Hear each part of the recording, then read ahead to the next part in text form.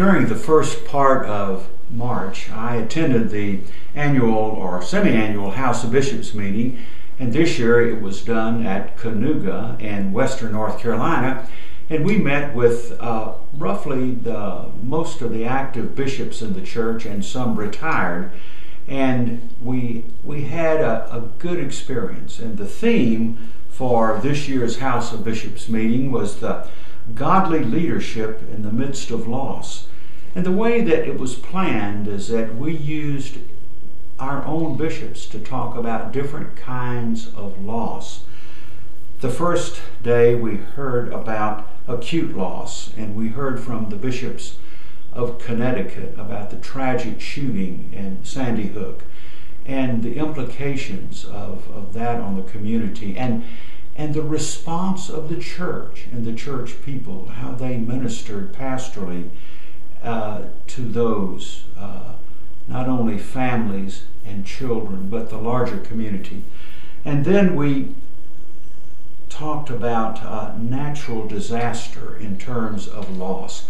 The Bishop of New Jersey talked about the devastating effect of Hurricane Sandy and what happened in his diocese, but how the people stepped forward in his diocese and throughout the church to help and to bring care and love and support for them.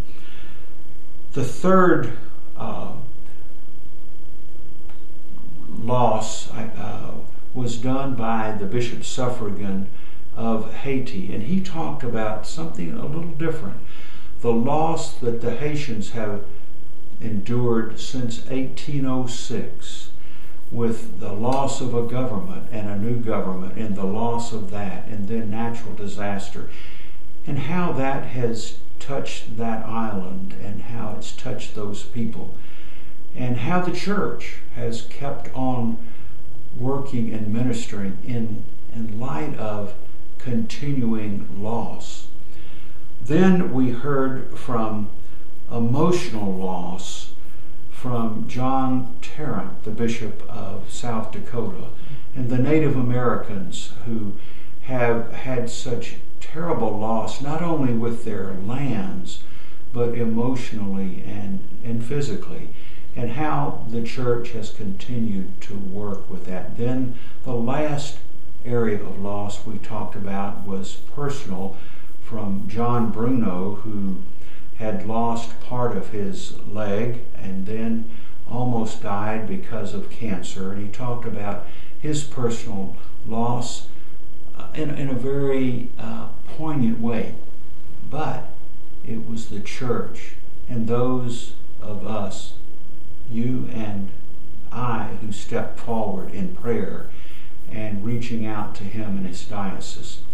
So I want to close by saying I felt this was the best House of Bishops meeting that I have been to in the years that I have been a bishop.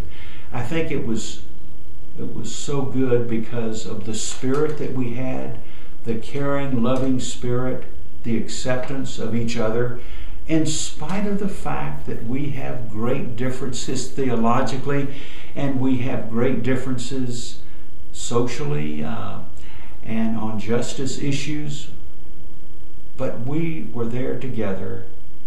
We would disagree, we would discuss, but we would do it respectfully, and we would come to the table and receive the sacrament of the body and blood together. And that's what bound us together. So for me, this was a high watermark in terms of House of Bishops meeting. And I feel really good about the church and about where we are.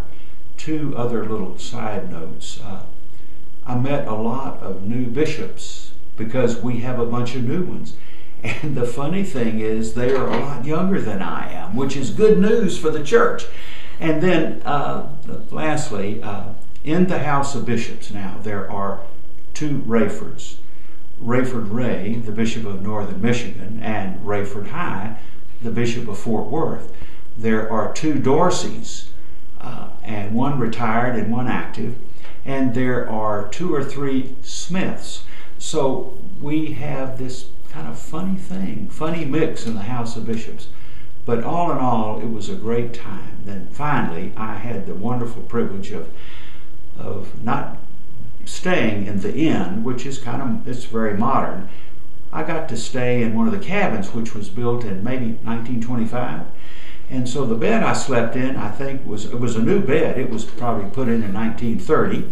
Had the original springs from 1925, and uh, the floors uh, creaked. So if you woke up in the middle of the night, uh, you could hear yourself. It would wake you up by the time you got through. And but it was a joyous time, and I was grateful to be able to represent the Episcopal Diocese of Fort Worth.